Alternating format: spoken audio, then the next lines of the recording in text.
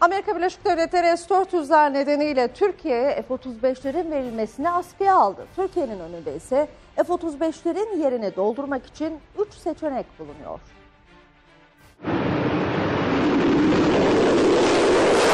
Amerika Birleşik Devletleri Türkiye'nin Rusya'dan S-400 savunma sistemini almasını bahane etti. Proje ortağı Türkiye'ye F-35 verilmesini askıya aldı. Türkiye e, alternatifleri değerlendirmeye devam edecektir. Yani bir kapı kapanırsa diğer kapılar açabilir, kendi kapımızı yapabiliriz.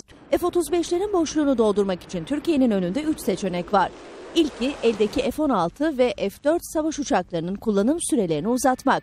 Bunun için modernizasyon çalışmaları yapacak. İkinci adım olarak Milli Muharip Uçağı TFX projesine ağırlık verilecek.